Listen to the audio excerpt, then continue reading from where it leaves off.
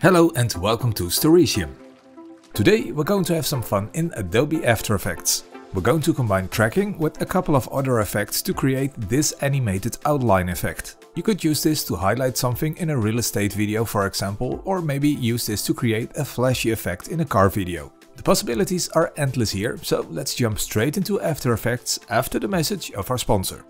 If you want to build your own website or web store, then definitely check out Squarespace. I've used them for more than two years now and I can confirm that it's easy to start with their award-winning templates, even if you don't have any experience with web design. And their templates are built in such a way that it will look great on any device, like your PC, tablet or smartphone.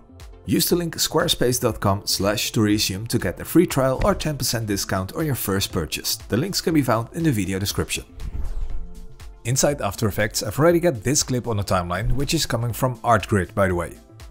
We're going to start by adding an effect. Inside the Effects and Presets panel, we're going to search for the Mocha effect. This plugin is only included in the latest versions of After Effects CC 2019 and newer, so if you can't find it, then it's time to upgrade. Let's apply this one to the selected clip and then head over to the effects control panel. You can then simply click on the Mocha logo and this will open up the plugin in a new window.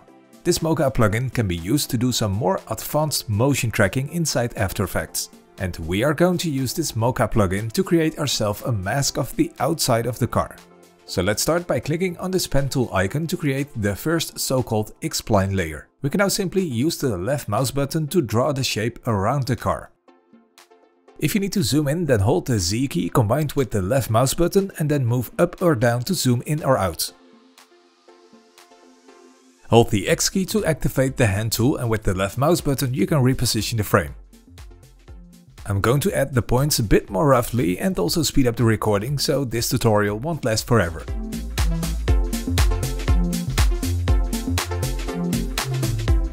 Once you get to the last point of this shape, you can right click somewhere else in the frame to exit this drawing mode.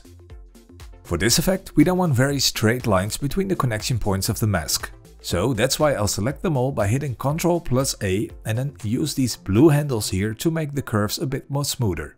You will get the most rounded corners if you make the handles shorter like this. Okay, this is looking good. We can now start the tracking by hitting this button here. Mocha will now track and analyze every frame for movement and change the position and shape of the layer where needed.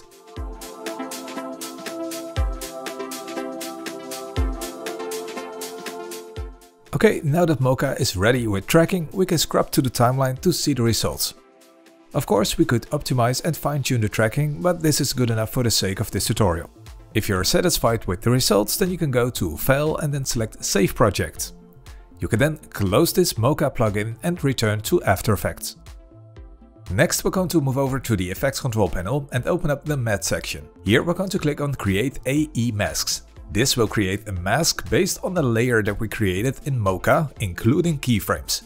What I mean is when I open this mask layer, you can see that the mask path has keyframes for every individual frame.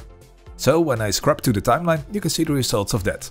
We're going to use the information in these keyframes to create the animated outline. And to do this, we're going to copy the data onto a shape layer. But first, we'll need to create one. So I'm going to right click below the video layer and select new and then select shape layer.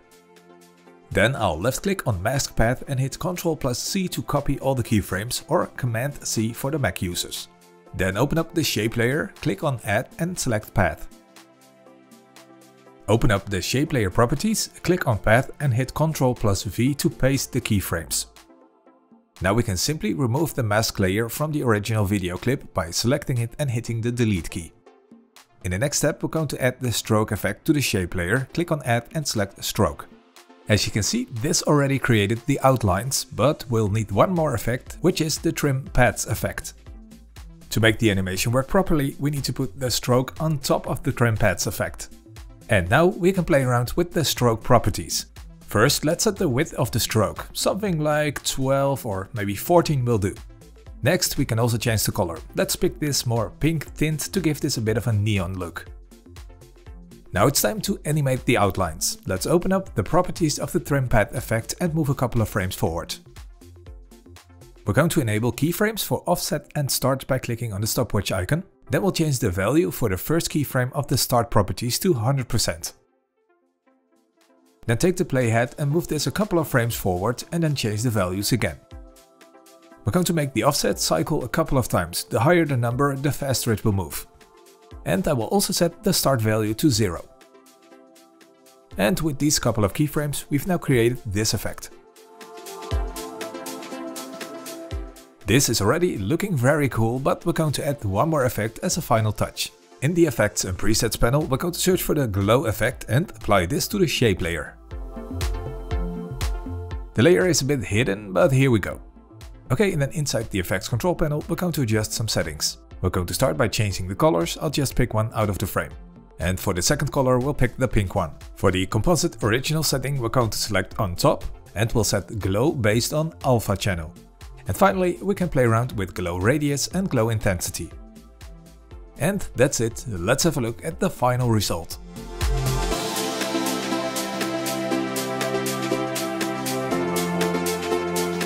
I hope you enjoyed this After Effects tutorial and if you did then please like the video. I've got some more After Effects tutorials so maybe check out one of these two. But as always, thanks again for watching and I hope you have a wonderful day.